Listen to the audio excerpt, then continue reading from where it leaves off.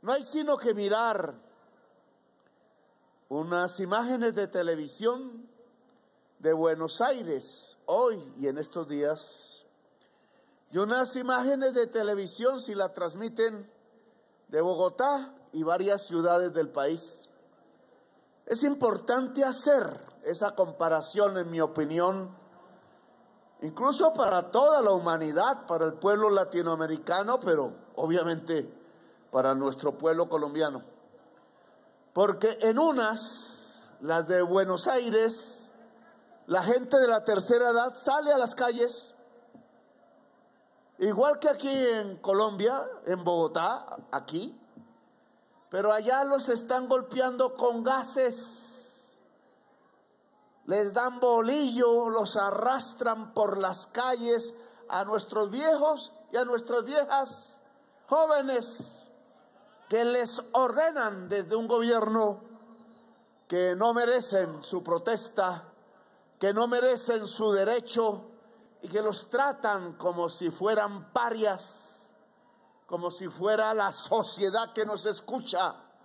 que merecen ir a los calabozos, que se les amordaza. Allí sí no hay la libertad que la señora Cabal pregona, porque ni más ni menos ni más ni menos.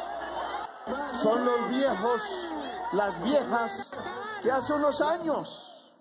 hace unas décadas, sostenían a la Argentina, movían sus palancas de la industria, clavaban su espalda en el surco o simplemente cuidaban su juventud para que en medio de afecto y besos pudieran construir esa nación enorme y grande, siendo madres, cabeza de familia o amas de casa, hoy las arrastran, hoy los arrastran, hoy los golpean con la fuerza de una juventud uniformada por una orden de un gobierno que no voy a criticar aquí, no me corresponde, que ha dado la orden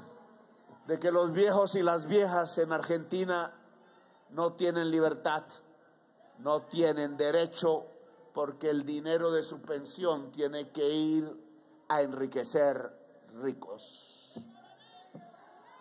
Bueno, aquí estamos en otra, otras imágenes diferentes. Esa diferencia tiene que ser medida, palpada, analizada, si se quiere teorizada, pero mostrada. Porque en Buenos Aires es el rejo para la gente adulta mayor y en Colombia estamos dando es un plato de sopa, un abrazo, un cariño, un amor desde el gobierno.